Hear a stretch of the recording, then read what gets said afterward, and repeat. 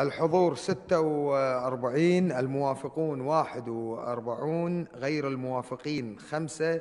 إذا موافقة على رفع الحصانة النيابية عن النائب عبد الحميد دشتي في قضية الإساءة إلى المملكة العربية السعودية قضية 10 على 2016 حصر